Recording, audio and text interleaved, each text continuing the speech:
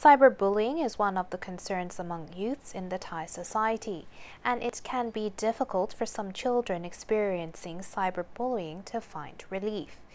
Our very own Kuntola Narula had an opportunity to speak with Minister of Digital Economy and Society, Dr. Pichet Durongkaveroj, on how the government is dealing with the matter.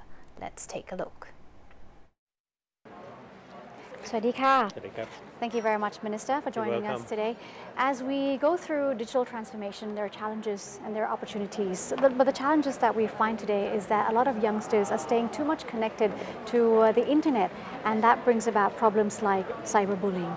How has the ministry assessed the situation and what are their preventive strategies? Mm -hmm. Thank you. Uh, this, this is uh, uh, an issue which is uh, pretty much a social issue.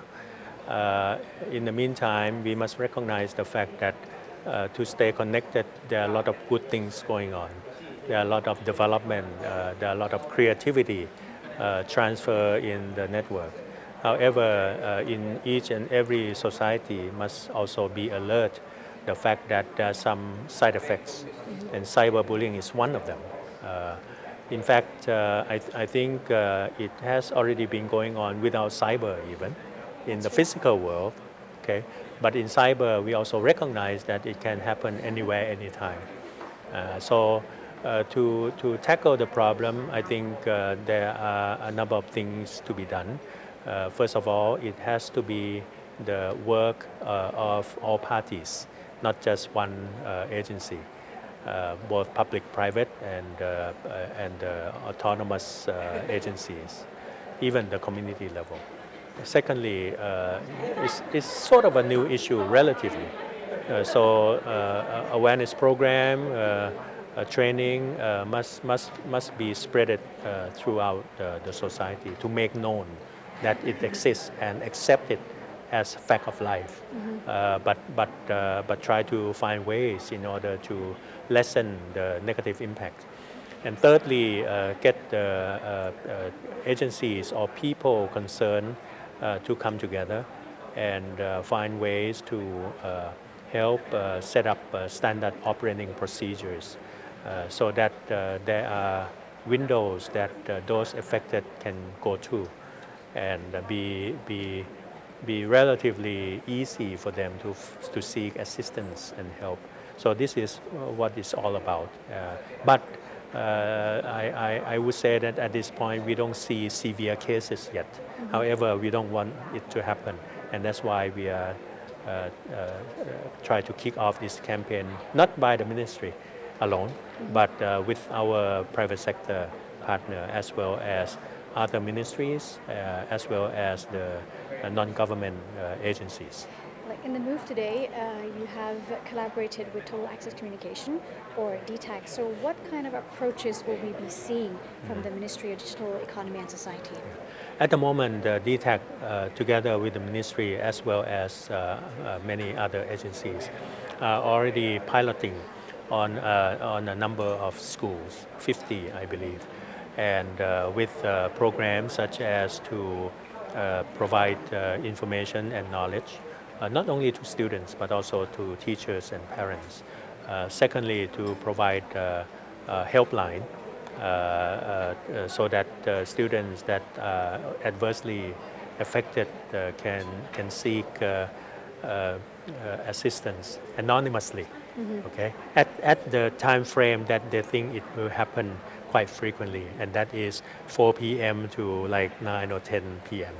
You know, That's like prime time for the kids. I, I know that, that, that that's right, and uh, uh, as, as for the ministry, we, we want to see more work being done in this area. Uh, so we will uh, uh, get all uh, concerned parties to work together on uh, putting in uh, appropriate curriculum for the school system. what kind of curriculum are we talking about? Uh, well, it, it, it can be uh, uh, quite tricky. If you, if you put in curriculum and call it cyberbullying, maybe it's not going to be well received because it has it, it's a negative uh, uh, connotation, right? Uh, but on the other hand, in, in, if you can uh, add it uh, or insert in the, in the existing uh, curriculum, such as uh, computer science uh, or learning how to use uh, digital equipment. You know, this is the soft side. Okay, so bit by bit, they will absorb it at the school children level.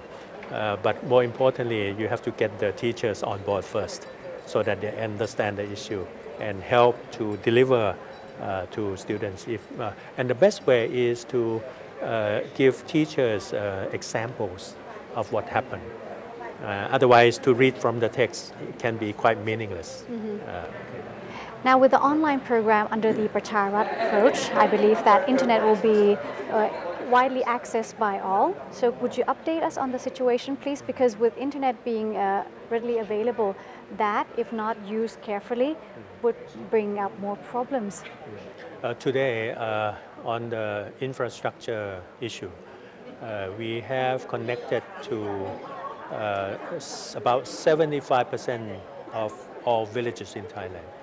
So uh, this year, the Ministry of Digital as well as the NBTC, the, the uh, National Broadcasting and Telecommunication Communication Commission, will work together in order to, uh, to handle the rest, the rest 25%. So connectivity will be done. Uh, and at the same time, we are cooperating with the Ministry of Education to find ways uh, uh, so that all schools in Thailand, over 30,000 schools, will be uh, connected to internet. Uh, now, uh, the opportunity is this. Uh, if schools can be connected, then in parallel, we can also design such thing like uh, white internet. White internet. White internet. What is that? internet, internet that that is not gloomy, internet that is not gray, Mm-hmm. internet that is not black, in terms of substance, in So terms of content. Clean and safe. Quite clean, quite safe. Of, of course, you cannot make it 100% clean and safe, but do it uh, from from the beginning, so that uh, students and youngsters would not be exposed all the time to uh, uh, uh, inappropriate uh, materials, which is damaging. Uh, the damage can be uh, pretty much sustained because they, they can absorb it every day if they want to. Or sometimes they are being forced to absorb it. So this is a thing that the whole society must come up with, uh, with a creative uh, way. Uh, on the one side, to, to provide an e- a white and clean and safe ecosystem, as, as you have suggested. Uh, but on the other hand, make sure that uh, it's an ecosystem where they can innovate.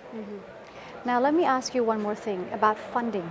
Because uh, we did see the prevalence of the incidence of cyberbullying. In order to help stop research like this, would actually be a great way to tell us, you know, uh, know where and how to start. So, in terms of funding uh, for research in academic institutions, how is the ministry helping in this area? Um, well, first of all, many ministries can, can uh, come forward to help in this matter. Uh, Ministry of Public Health can help in terms of the uh, uh, psych- psychiatric uh, uh, help. Ministry of Education can help in terms of school curriculum and so on. Okay. As for uh, Ministry of Digital, we have a digital fund, uh, and this digital fund uh, would be uh, very flexible, uh, not only to fund hardware infrastructure, but also the soft issue as well.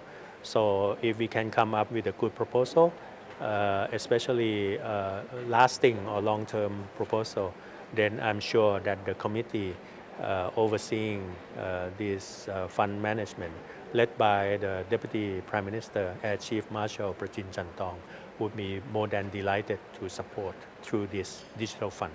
Right. Thank you, Minister. Thank you very much for your time today. Thank you. สวัสดีค่ะ